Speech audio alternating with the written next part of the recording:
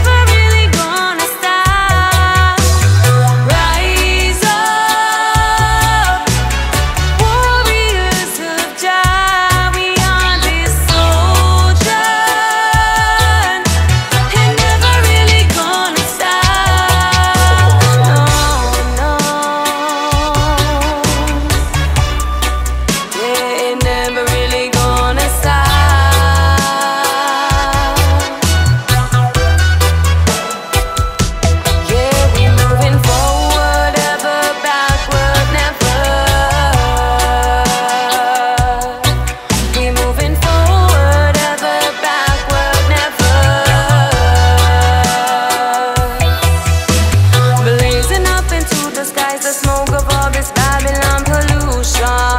Where's the solution? It's a hidden in the signs of Mama Earth communication through vibration, a revelation.